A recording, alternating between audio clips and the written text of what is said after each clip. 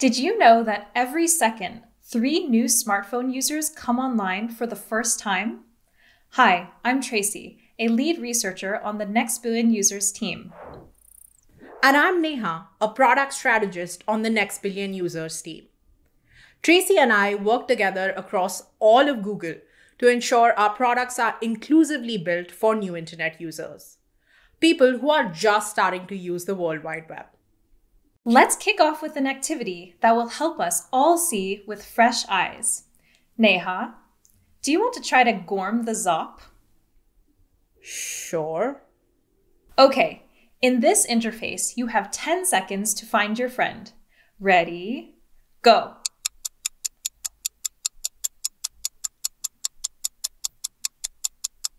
Time's up. How did that feel? It was quite confusing. I didn't know what it was saying to me or where to tap. Neha, you are not alone. We've run this activity with thousands of Googlers. Common feelings that surfaced were frustration, embarrassment, and confusion. Here are some quotes Everything looked foreign. It gave me bad feedback. I had to memorize what to do. We even had someone reach out to us and say, Hey, your website is broken. Perfect responses because they all closely mirror what someone with low digital literacy feels when they first come online and try using technology products. Low digital literacy exists globally. A 2016 study across 33 countries showed that just 5% of the adult population have high computer related skills. And in 2018, the Digital Empowerment Foundation reported that they consider 90% of India to be digitally non literate. While the exact numbers and measurement methods vary, they all indicate that much of the population is lacking the digital literacy required to complete basic tasks. The most extreme user type to represent this are who we call new internet users people who come online in the millions each and every day, primarily on smartphones, in regions like Asia Pacific, Sub Saharan Africa, and Latin America. New internet users are changing the landscape of the internet and digital technology. They face different constraints than what tech creators are used to, like patchy connectivity, limited digital experience, low literacy, and low digital confidence. For the past three years, we've been researching the digital journeys of new internet users in Brazil, India, Indonesia, Nigeria, and Mexico. Something that may surprise you the geography doesn't matter as much as people typically think. Across all these regions, new internet users showed very similar behaviors. And new internet users don't just exist in these five countries, they exist everywhere. That's because human needs are universal, no matter the context.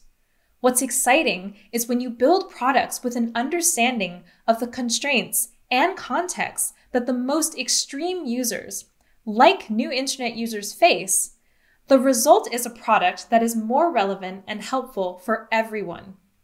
This is why we see new internet users sparking a paradigm shift and how to build effective global products.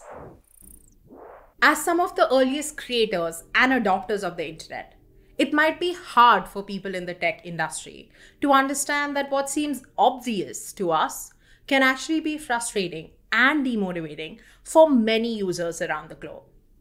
The first step is acknowledging the gap in comfort levels in using technology.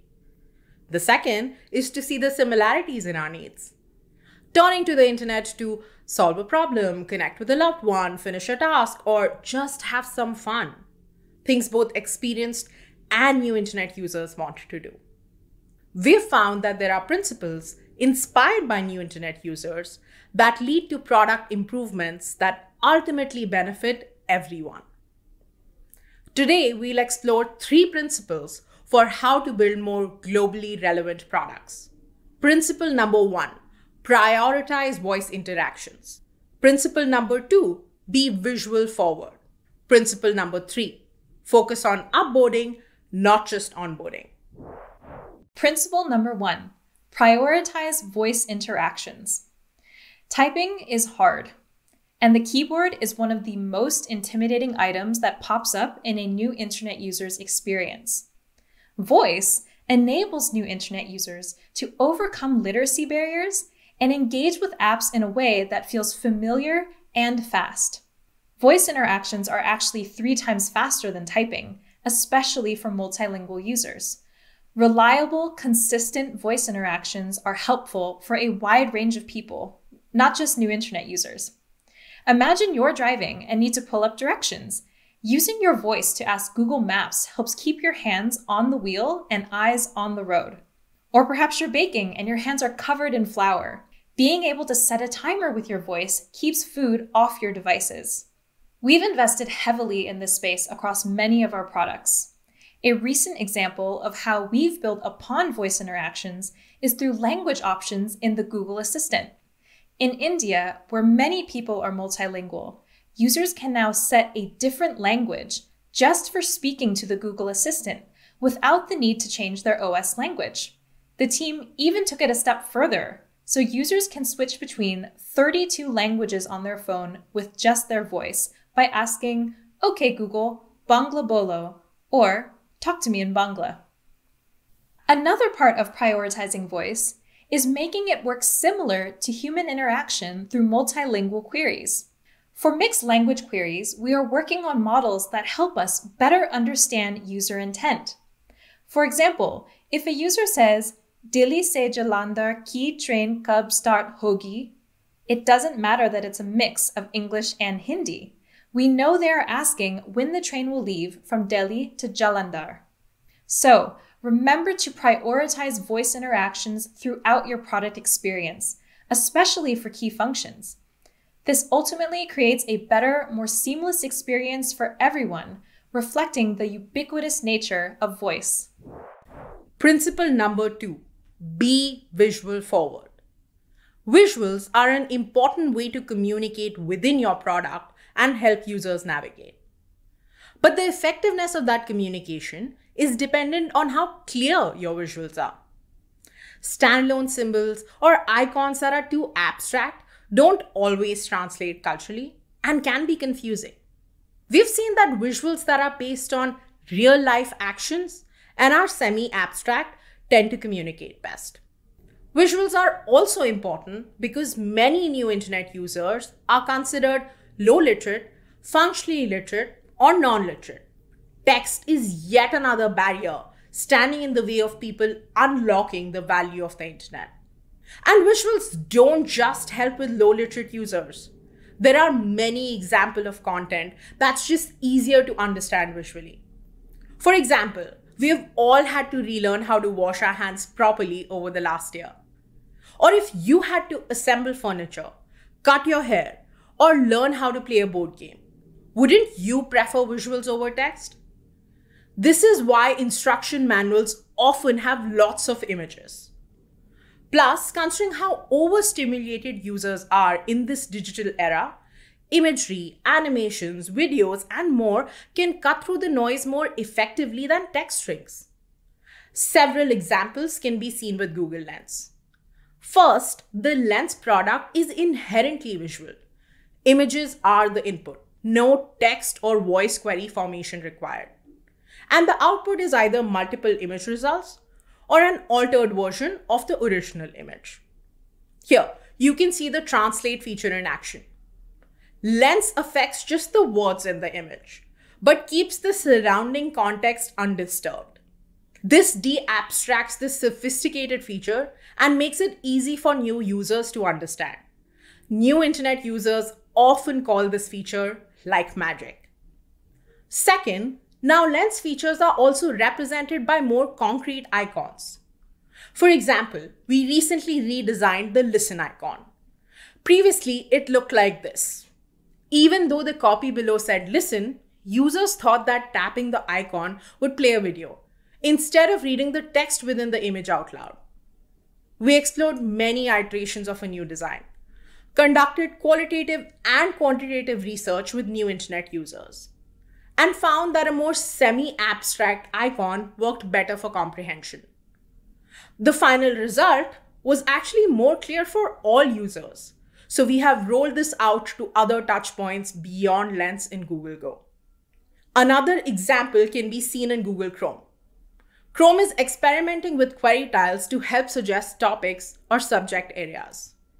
Instead of leaning into text or very abstract graphics, the team incorporated photographic imagery.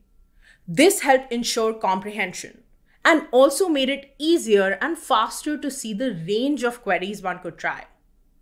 Remember, leveraging well designed visuals can help you efficiently and effectively communicate with your users throughout the product experience, regardless of their comfort reading text.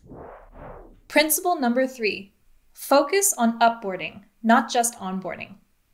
Onboarding, while important, is often front loaded, usability focused, and assumes that the user already knows the general purpose of an app. But this can't be assumed anymore. Think of all the things a new internet user is taking in at once new concepts, navigation models, icons, text, different input mechanisms. It's cognitive overload, and traditional onboarding doesn't help the situation. If you focus on upboarding and onboarding, you communicate the relevant value of your product, not just how to use it. With upboarding, educational moments happen in context, not all at once upon the first opening, and they only disrupt an experience when critical. Also, with upboarding, learning materials don't disappear, but are always available since people learn at different paces. A great example of onboarding and upboarding in action is within Camera Go.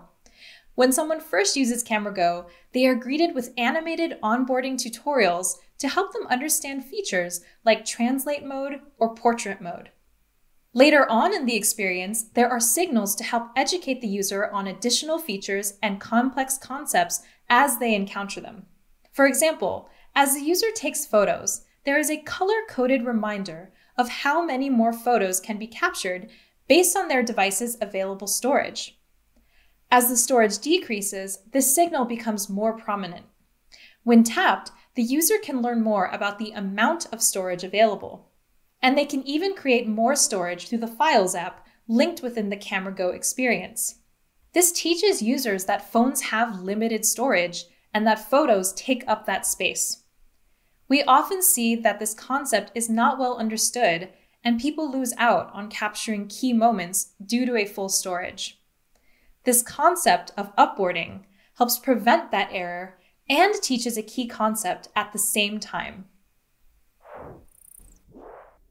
Every second, three new smartphone users come online for the first time from around the world. And they are eager to use technology. But to enable new internet users into becoming future power users of technology, we need to create products that are both relevant to their needs and usable in their context. If we can leave you with even just one thing to remember, this is it. When you build for new internet users, you ultimately build better for everyone. These are just a few best practices and examples of how you can effectively build for new internet users.